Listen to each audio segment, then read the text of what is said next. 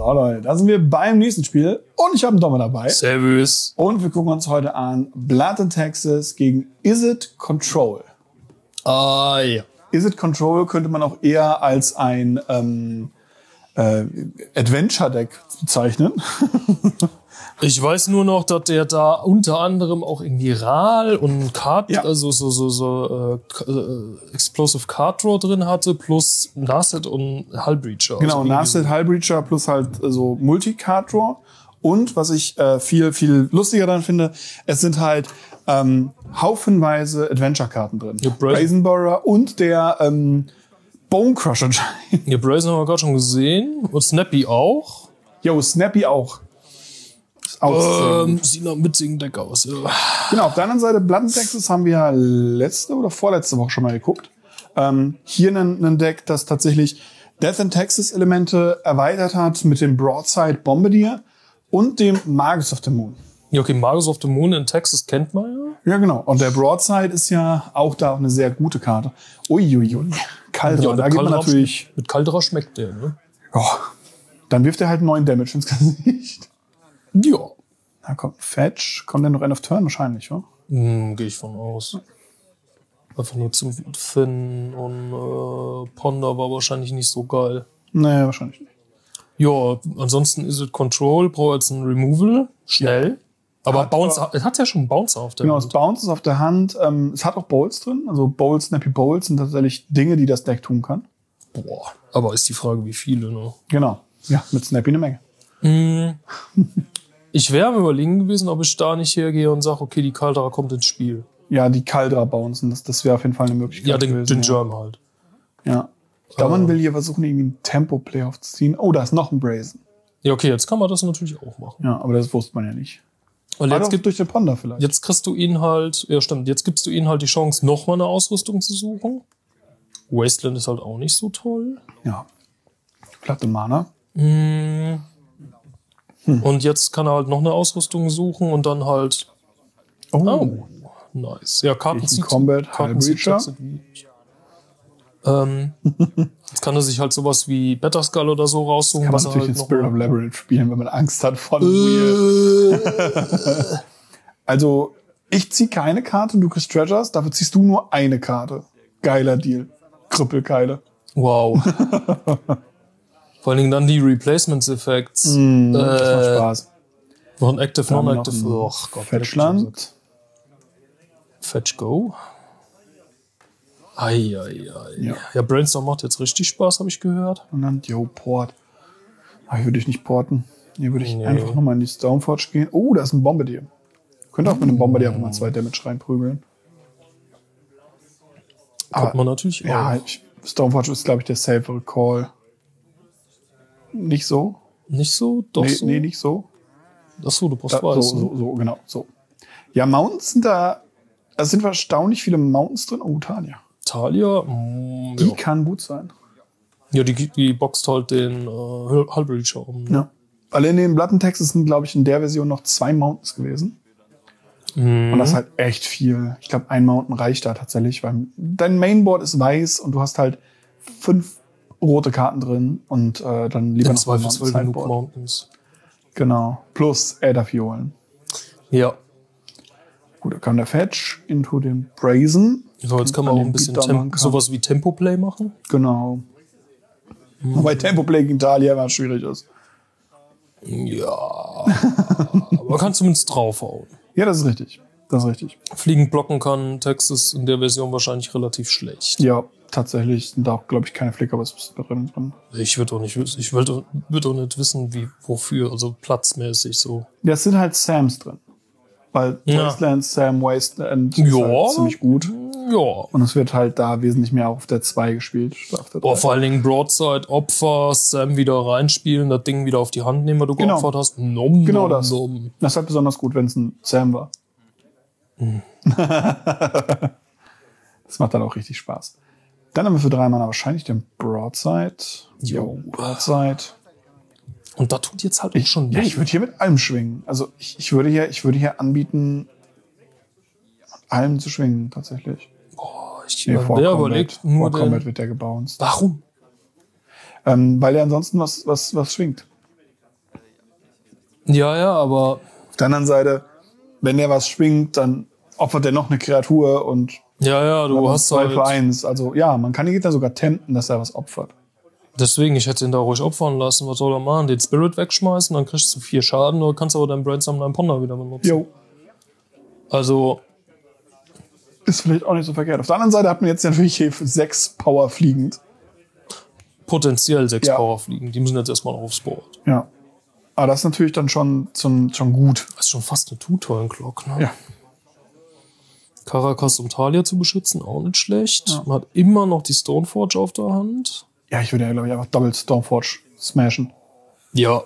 Doppelt Stoneforge. Alles für- suchen, was geht. Genau. Für ähm, beide suchen und er müsste dann ja schon beide abrüsten, damit es nicht relevant ist. Jupp. Ja, Stoneforge kommt. Äh, Beaskull und dann Genau, noch Line Sash. Oh, Line Sash, ja genau, Line Sash. Ich war gerade überlegen, was die dritte nochmal war. Yeti ist auch so ausgestorben, ne? Jitte ist stark ausgestorben, das ist richtig. Manchmal im Sideboard tatsächlich. Weil es halt, die Creature-Decks, die halt rumlaufen, sind halt sehr explosiv. Also, wenn, wenn man jetzt auch beim Gegner schaut, er kontrolliert viel runter, hat aber dann explosive Sachen, die er, die er reinspielt. Mit viel, viel Big Dude. Boah, also, dass ich mal erleben würde, dass ein Death and Texas Deck gibt, wo keine Sophie und keine Jitte drin ist, ne? Ja, aber Better hat's weiter geschafft, das muss, muss man ja schon sagen. Das Ja, schon- ja. Go big, go wide. Ja, Da ist die Line Sash. Die ist auch schön in dem Artwork. Jo, in dem, in dem äh, Japano-Style. Mhm. Also Kamigawa-Style, so ist richtig. Ja, Kamigawa Neon Dynasty. Genau, immer noch ein schönes Set. Dann haut man jetzt hier für sechs. Das ist halt, das ist halt ein, ein Race. Das ist ein Base Race, was hier passiert. Ja, du hast halt nächste Runde kommt auf jeden Fall die Kaldra. Ähm, das sind schon mal fünf, sechs, sieben, acht, äh, zehn Schaden könnten da kommen. Elf mit einer Stoneforge. Außer du machst zehn und sagst, okay, ich will die Batterskull hinlegen. Jetzt ist aber die Frage, Ja, wie weitermachen? Der Gegner kriegt dich nicht tot. Das ist ein Snapcaster noch zum Blocken. Das ist natürlich sweet. Und da ist ein, äh, ein Giant. oh, ja. Bone Crusher Giant plus äh, Dings halt nächste Runde Liefel. Boah, da hätte ich aber schon eine Stoneforge getötet. Naja, ist Liefel nächste Runde. Stimmt, ja. Also der Gegner darf sich hier in Sicherheit wiegen und man hat halt Liefel auf der Hand. Also da kann man wirklich schauen, ob man äh, damit jetzt sich den, den Liefel-Push setzt. Mhm, sechs, sechs Damage fliegend. Es darf halt nur kein Sword oder so kommen. So, dann kommt der Broadside. Oh ja, der ist ja auch noch in der Rechnung drin. Broadside, Broadside sind halt äh, eine Menge Damage. Ja. Und Der äh, muss sterben. Der muss sterben. Nutzen verliert man hier. Das setzt einen natürlich zurück. Mhm. Um eine Menge. Aber du kannst immer noch den Buddy vom Snappy reinschießen. Mhm. So, das heißt, jetzt kommen sieben. Das heißt, man geht auf sieben. Dann heißt man sechs in der Luft. Der hat zwei Blocker. Du brauchst auf jeden Fall noch irgendwas zum Removen. Ja. Nächste Runde. Frage, ob man die hier nicht einfach nimmt. Kaldra hat halt mit, mit Trampel halt so einen miesen Move. Ja, ich würde da einfach sagen, ja, ist okay. Ja. Es ändert an der Runde danach eh nichts. Absolut nicht. Dann Fetch of 6. Snapcaster Mage. Snappy, Buddy. Target, Ponder, Fizzled, also Fizzled nicht, aber wird nicht gespielt. Und dann kommt es jetzt so ein bisschen drauf an, wie man jetzt, äh, ob man Removal findet ähm, oder, oder ähnliches. Das wird halt halt nochmal richtig spannend. Ja, jetzt muss halt Top irgendein Removal kommen. Mhm. Brainstorm bringt nichts, Ponder bringt auch nichts. Wegen dem äh, Spirit. Mhm. Ähm, du brauchst jetzt entweder noch ein. Okay. Sechs kommen safe durch. So, jetzt gehen wir auf zwei, aber man unlockt jetzt halt Brainstorm Ponder. Mhm. Das kann eine Menge ändern. Oder nichts. Ja. Weil Brainstorm Ponder kosten halt immer noch zwei Mana. Ja, man muss mit dem Brainstorm was finden, was halt irgendwie äh, Land und Ponder into Beatdown oder sowas hat. Ja. Ansonsten hast du keine Timer? Äh, der. Hä? Ha. Das, das verstehe ich nicht. Shockland? Ah, Schockland getappt ins Spiel. Da, das verstehe ich nicht. Da wäre ich, hätte ich versucht zu gewinnen. Weil ich habe so oder so verloren. Auch mit dem Dude habe ich jetzt verloren. Ah, Das sind genau sechs Damage. die Kaldra. Ja, er hat aber ja drei hinten. Ja, Damage sind das äh, 7, 8. So, und da ist noch die, die Lion Sash mit Equippen und Stärken Stimmt, ja. und ja. Ähm, Ist noch ein Snappy auf der Hand, um die jetzt noch ein bisschen zu ist verdrehen, noch die ein. Broadside, ja. Oder Oh, Broadside wäre natürlich jetzt liefe. Broadside? Äh, ja. Tot. Einfach tot. Attack, fliegen die Kaldra, bumm. Genau. Oi, oi, oi. Ja, Broadside hier wirklich, wirklich eine, eine absolute Granate. Heilige Scheiße, ist die gut. Mhm. Es ist halt die Frage, ob jetzt noch was passiert. Ich Mhm. glaube aber nicht. Ja, man kann auch die Better Skull spielen, damit man die flinkt. Ja, das stimmt. Damit der Combat immer noch äh, mit der Ding ist. mit Combat Lethal ist. Ja. Damit man halt mit allem reingeht und dann sagt, ich flicke den. Ja, dann flinge ich dir einfach die Kaldra ins Gesicht. Äh, die, die Skull ins Gesicht. Ja, dann schmeiße ich dir das Ding halt ins in dein Gesicht. Ja. Block, Block sind immer noch genau 6 Damage. Nee, sind 5 Damage. Ja, und dann schießt man halt die. Kaldra. Ja, Ins so Gesicht. dazu. An dieser Stelle einmal vielen, vielen, vielen Dank an meine Patrons, die mich so, so lieb unterstützen und mir so, so, so unter die Arme greifen, dass ich so viel coolen Stuff für euch machen kann. Deswegen vielen Dank an alle meine Patrons. Wenn ihr mich auch unterstützen wollt, äh, finanziell, könnt ihr das ab drei Euro im Monat gerne mal tun. Werbung Ende. Werbung Ende. Dann Äh. Ja, Sideboard ist, glaube ich, nicht viel bei Texas drin. glaube ich auch nicht. Also willst halt keine Magus of the Moons haben? Nö, der hat genug Basics. Leylines sind egal oder halt generell Grave Hate ist egal. Anderer Removal vielleicht. Bei Is It Control halt Removal. Ja, Removal wahrscheinlich, ein paar Bouncer, ein bisschen Removal an Destruction. Ist halt die Frage, ob du überhaupt noch äh, Counterspells drin lässt. Wenig. Oh, die Mama. Die alte Mutti. Und da wird einmal nach einem Basic Land geguckt. Snow Covered. Jo. Kommen ja jetzt in MH3 wieder. Ja, sogar eine Snow Covered Wastes. Ja, was ich sehr cool finde tatsächlich. Ich find's auch witzig. Gut, dann einmal überall gecuttet die Decks und dann gib ihm. Selbst bei äh, WotC gibt's Climate Change. Ja. Dann. Uh, Good old Counterbalance. Das auch nice. ja. Heißt, ähm, ab jetzt können wir gespannt sein, ob die Sachen durchkommen. Jo. Finde ich echt interessant. Mm, Bab 2 wird gezeigt und es ist ein Bolt. ja, okay, der Bolt äh, Ist erledigt die aber auch. Hübscher Genau. Bolt. Ja, ist ein äh, Player, Player Reward? Nee, Grand Prix. glaub auch. Dann Uh, noch Ponder, man hat kein Land. Äh, Da möchte man keinen Ponder für verschwenden. Da ist auf jeden Fall ein Land, aber es ist schon wieder eine Ebene. Äh, eine Insel. Mhm. Brainstorm, ich glaube, hier will man. Okay, jetzt zieht man die Karte. Hat man Land? Man hat ein Oh, Land. Fetchland war dabei, okay. Also Ja, okay, die- Fetchland, die- die- Basic. Ähm, der, der Dings ist halt äh, madig, weil die Mutti ist active. Ja, genau, der Bolt ist da nicht so geil. Plus das Caracas hinten dran. Hm. Das ist alles nicht so sweet gerade. Also gerade auch noch eine Counterbalance. Uh, Ja, das sind die Karten, die man nicht haben möchte. Doppel Counterbalance, ja. Wobei man zwischen den Triggern fetchen kann.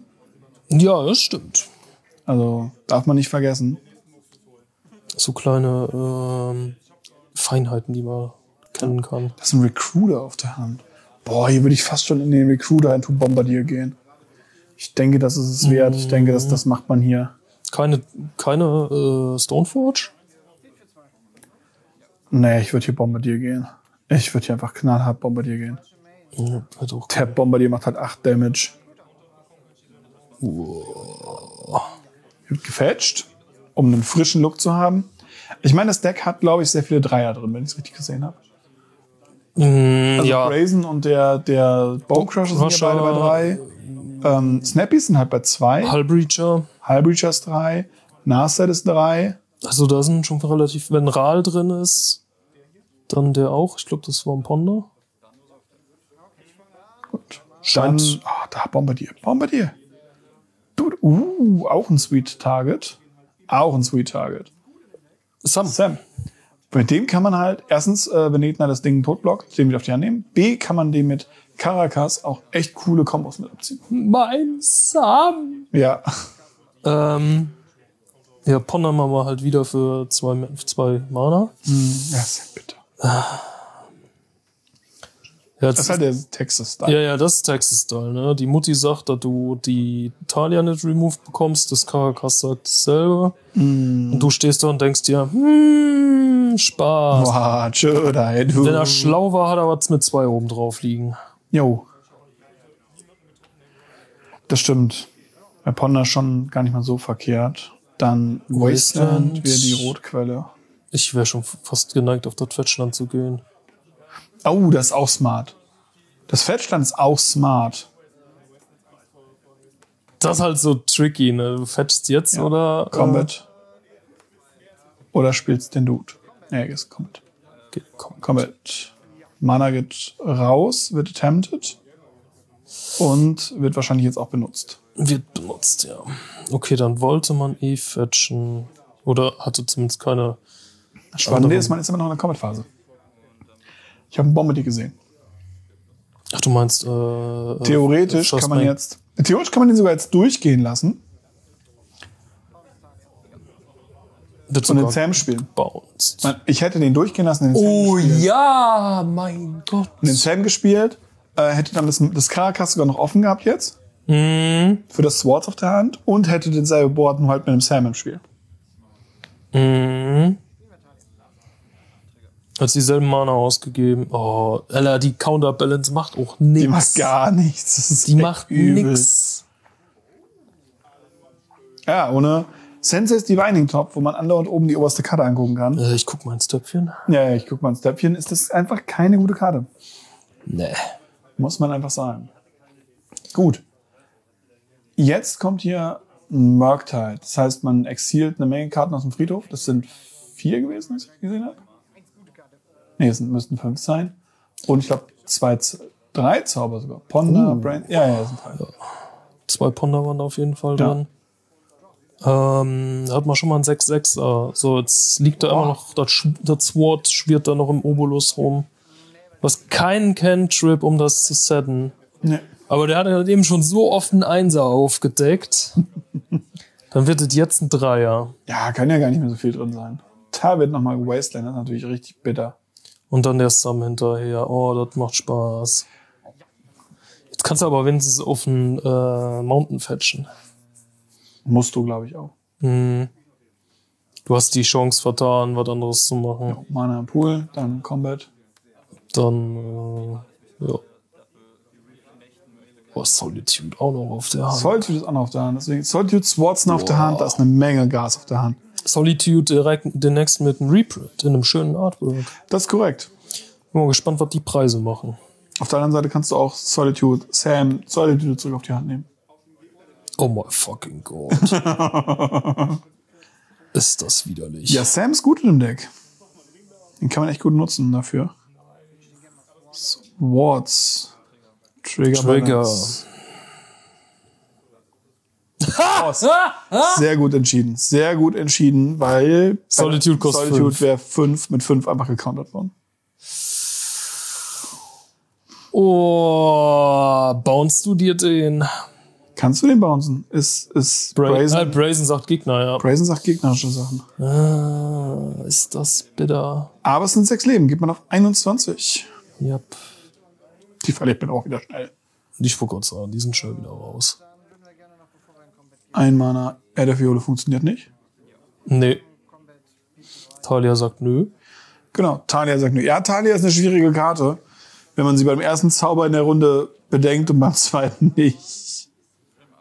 Mm, Aber das ist halt dieses Tempting, dieses, ah, ich bin noch die Ätherfiole, dann hau ich dich. Das ist halt so ein Move, den man macht, tatsächlich. Ja. Wo man halt auch wirklich drauf, also es passieren kann, dass man sich da einfach reintempen lässt. Aber die Ätherfiole hier, illegal.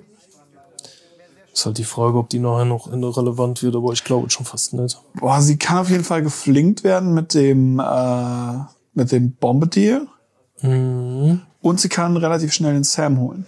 Also, Ja, sie kann okay. sehr schnell relevant sein. Der Sam käme jetzt halt einfach eine Runde früher. Genau, und es ist halt äh, Counterbalance. Also das Counterbalance sagt ja, man, man countert und Ätherfiole legt halt ins Spiel, was halt nicht. Oh mein Gott. Ja, Warum schießt der nicht die Talia tot? weil die Mami getappt war, äh, enttappt war. Schaden kann nicht verhindert werden. Oh ja. Oder einfach mal die, die, die Mutti abknallen. Dann ist der Bolt im, im Friedhof endlich mal von Nütze, weil er hat nämlich, glaube ich, ein. Hat er? Snapcaster, ja. Snappy. Dann braucht Ja. nur noch ein Land. Das ist richtig. Aber es, Schaden kann zwar nicht verhindert werden, aber man kann ja trotzdem die, die Aufdeckung verhindern. Äh, oh, da war ein Dreier oben drauf. Yes. Wahrscheinlich ein äh. Bridger. Ähm.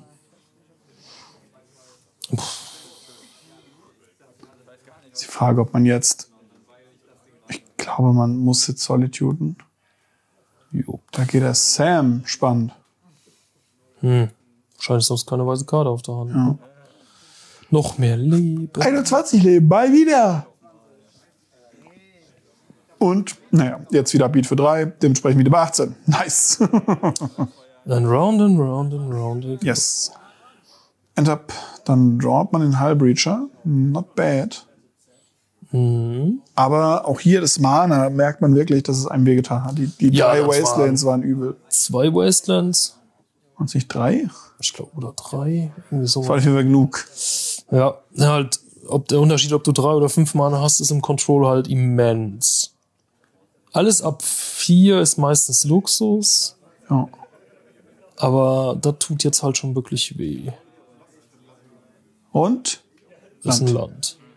Freut man sich richtig. Oh, leider, diese Counterbalance hat bis jetzt erst einen Spell gecountert. Das könnte Ja, meine es war jetzt sein. ein Counterspell. Also bisher war es ein Counterspell. ja, bis jetzt, ab jetzt ist es Bonus. Ja. Ähm, Solitude. Kotz. Spannend. Hätte ich nicht so wirklich mit gerechnet. Dann gehen wir für drei hauen. Dann kommt der Hullbreacher. Dann wird wahrscheinlich gesolitudet. Nee. What? Der hat wahrscheinlich keine weiße Handkarte. Ja, aber dann hätte man ja mit dem 1 also nicht angreifen müssen. Tjo. Das ist höchst verwirrend für mich. Hm. Ätherfiole wurde auch vergessen hochzuticken. Also war es eh irrele irrelevant. Nee, bisher gab es keinen Zeitpunkt, zu dem man hätte sie spielen können. Oh, stimmt, ja. True. Dann haben wir Beatdown. Oh, es ist halt, das ist halt dieses Standoff mit so kleinen Weenie-Kreaturen, die sich hauen. Und keiner traut, beziehungsweise keiner kann halt so richtig drüber gehen, sondern man haut sich halt mit so ein paar Punkten die ganze Zeit. Der einzige, der jetzt was machen kann, tatsächlich, ist der Brazen. So, aber der faced auch ein Solitude. Von daher, mh, okay, da war eine Talia jetzt auf der Hand. Und ein Arithmesa. Beatdown. ja, musst jetzt halt irgendwas machen. Ne? Hm. Hm. Und auf Turn Brazen und dann hoffen, dass der liegen bleibt. Bounce die Weil. Ja. Ja. Solide. Aber die wäre halt auch nicht gebounced worden, wenn die halt nie gespielt worden wäre. Jupp. So, jetzt kann man angreifen. Wieder drei, ist doch 13. Jetzt ist das halt so ein Ping-Pong, ne? Jo.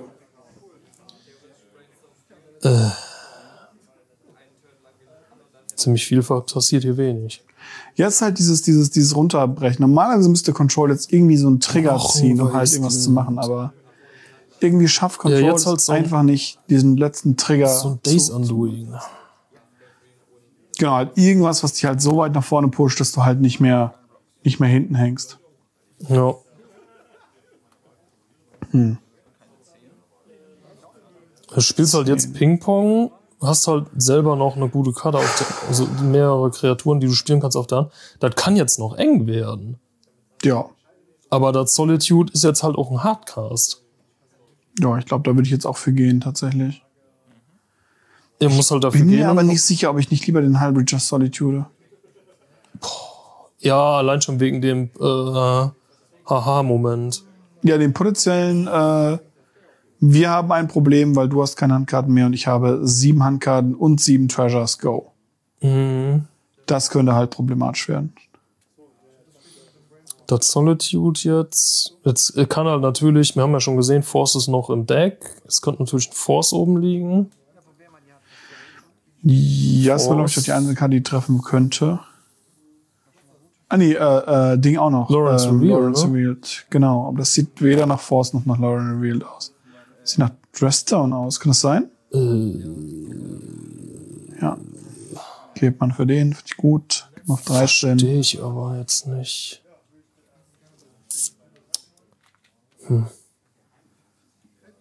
Ja, ist Dressdown. Stressdown, Man nimmt halt nicht das Land irgendwie mal zum Basic Land Cycling, äh, zum Island Cycling. ja. Du willst irgendwann diesen Draw haben. Ja, aber ist das so gut? Ist es so wichtig? Ich verstehe es halt auch nicht. Ich würde wahrscheinlich für den, für den, für den Land gehen, fürs Land gehen. ja. Allein schon wegen der Talia. Du musst ja sechs Mana haben, um das Ding spielen zu können. Ja, ja, und du kannst halt mit dem, mit dem ähm, Bolt halt immer noch drei Surprise Damage machen, wenn der Gegner denkt, er hat noch Zeit.